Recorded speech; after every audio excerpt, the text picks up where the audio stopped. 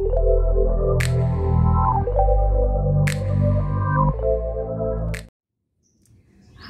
assalamualaikum. Hari ini aku akan memandikan tanaman hiasku.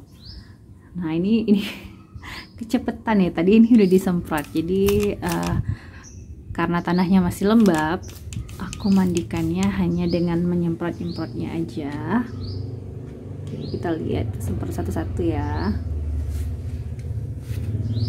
Nah ini ada yang uh, disempil-sempil ngintip-ngintip dia. Oke. Okay. jadi ini uh, ini sakit ya. Jadi saya semprot aja saya pindah-pindahkan. Atau kenapa tiba-tiba angus dan daunnya menggulung karena sebelumnya saya taruh di tempat yang panas. Jadi sebenarnya rencananya sih mau dijemur-jemur aja gitu. Jemur sinar pagi sebentar tapi juga dia nggak mau ya kena sinar pagi. Jadi saya pindahkan aja kemari. Nah lalu nih keladinya kita mandiin semprot-semprot aja karena masih kecil.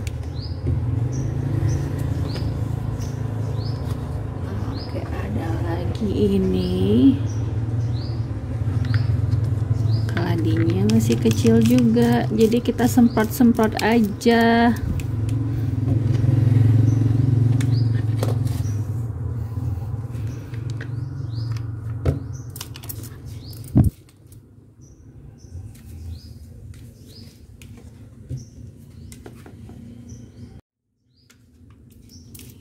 lagi disemprot-semprot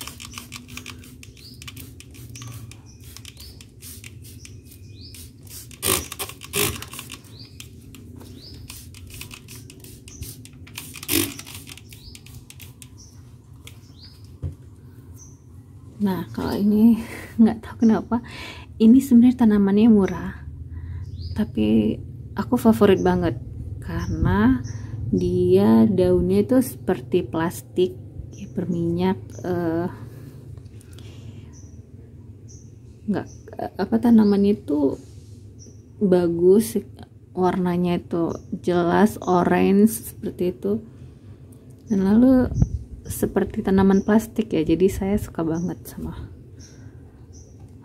bunga yang satu ini. Nah terus ini ada kaktus. Nah ada, ada lumayan ya kaktusnya nah kaktus ini cocok sebenarnya untuk uh, hiasan indoor ataupun outdoor. Oke, kita lanjut uh, semprot-semprot yang di atas. Yo yo yo nah ini ya Alhamdulillah nih dari pertama aku beli dia masih sedikit tapi ini eh, coba lihat. Nah ini, ini udah tumbuh tunas baru. Ini juga akarnya hmm, sehat. Alhamdulillah ya. Baik-baik ya. Nah kita ke atas. Ini ada begonia malkuta. Malkutanya dimandiin dulu lalu ini ada adam hawa. Nah cantik banget ya adam hawa ini.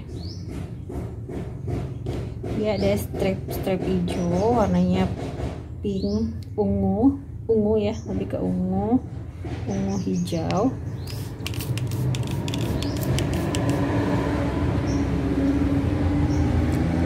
Ini ada keladi pink. Nah ini waktu beli dia daunnya tiga tapi satunya udah layu terus tumbuh uh, tunas yang baru nih. Cakep ya. Ini keladi pink biasanya kalau perempuan suka yang pink-pink ya suka punya. Jadi saya begitu lihat keladi pink ini ya rasanya pengen pengen punya seperti itu. Nah lalu ini dia sirih uh, gading tumbuhan sirih-sirihan. Tapi ini namanya sirih Brazil ya. Mandikan sirih Brazilnya.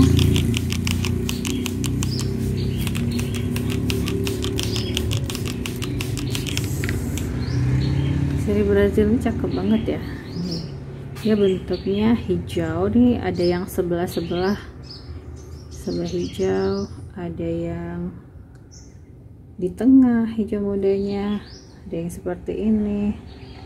Jadi dia bentuknya beda-beda.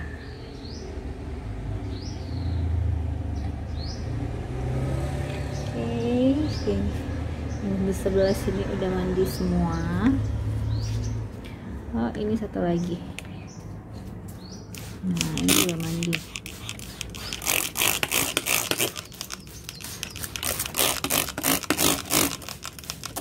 nah ini alhamdulillah udah ada anakan barunya. Tumbuh daun baru. Nah jadi dia kalau tumbuh daun baru seperti ini dia menggulung. Nah ini kaktus indoor saya. Jadi kaktus ini kita jemur dulu sebentar karena udah lama di dalam biar uh, kena matahari sedikit. Oke selanjutnya salat teh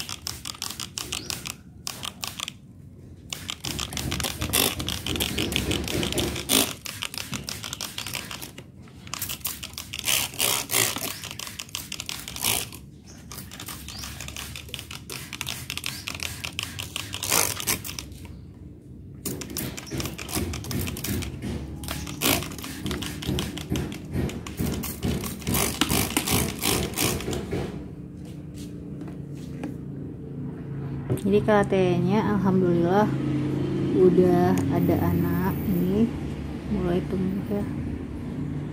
Ini bisa dilihat ini. Nah. Tumbuh tunas baru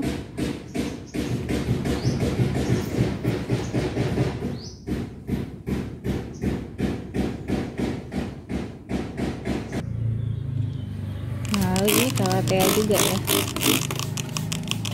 Kemarin sore baru saya siram jadi kita semprot-semprot juga aja kalateanya di bawahnya. Saya taruh bunga yang menjalar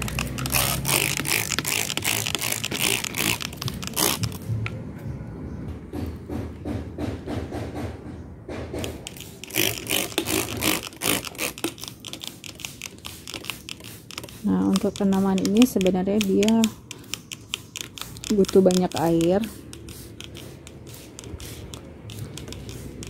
Tapi karena uh, saya juga baru siram jadi kita semprot-semprot aja. Nanti sore kita siram lagi deh. Nah ini keladi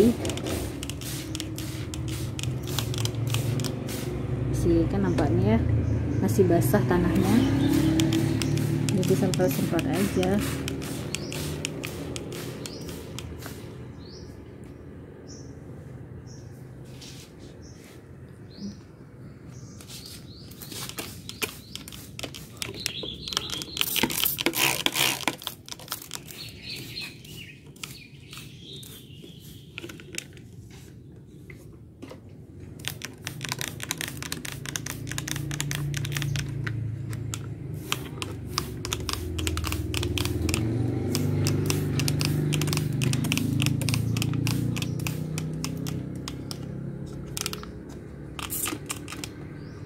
ini udah besar ya harusnya ini bisa dipindahkan. Aduh.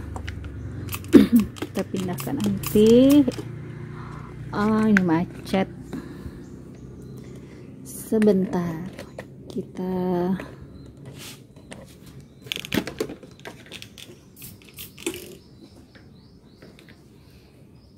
oke kita tur ke sebelahnya.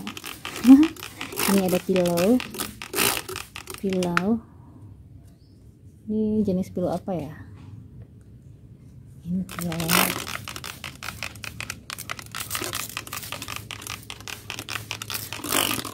nah ini dia. Ini adalah keladi army. Nah, ini ada beberapa tanah kosong nanti akan kita isi dengan bunga bunga yang baru.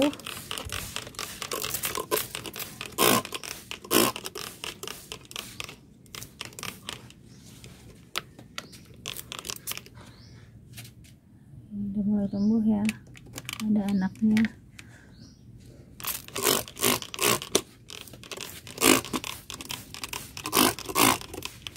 Yuk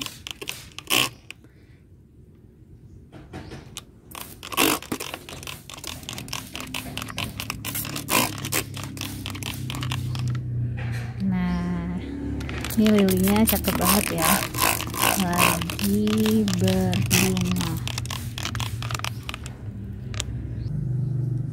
oke ini daun mint saya. Ada yang suka minum teh dengan daun mint nah kalau kita punya daun mint sendiri kita bisa petik seperlunya dan kita gunakan baik itu minum teh uh, water infus ya macam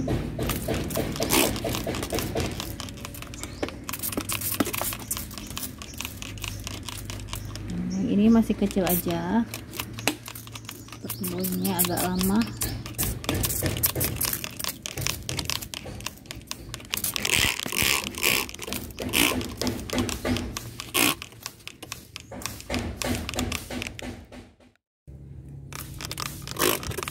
Merah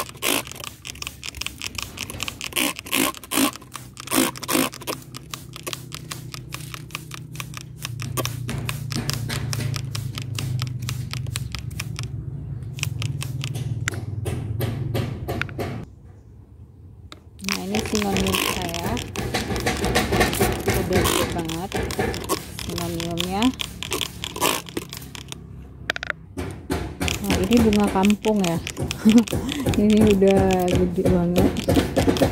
Bagian udah saya pangkas-pangkasin jangan dibuang. Tapi kalau seperti ini juga lumayan cakep ya. Oke, itu dia tadi tanaman uh, hias yang udah saya mandiin ya, udah disemprot-semprot beberapanya yang di depan. Sekarang dia udah mulai segar, udah mampu menghadapi hari ini ya. ini gede banget nih. Ada mau tumbuh uh, daun baru. Nah sepertinya ini uh, keladi merah ini suka dengan matahari tapi jangan uh, matahari langsung ya. Ini ada kanopi jadi agak ketutup sedikit kalau siang tuh nggak terlalu panas. Nah kalau ada matahari uh, kita taruh di bawah matahari sedikit nggak langsung dia tumbuhnya segar dan cepat besar. Saya rasa keladi-keladian seperti itu ya karena keladi-keladi yang lain juga lihat seperti itu. Ini kalau kita taruh di dalam keladi putih ini dia seperti ini gitu tinggi tapi warnanya tuh nggak keluar. Ini baru saya keluarin kemarin sore. Nah tumbuhnya tinggi tapi warnanya nggak keluar. Kalau yang di bawah ini ini tuh udah lama. Dia sehat ya batangnya hijau. Ini kan batangnya masih hijau muda. Ini batangnya udah hijau tua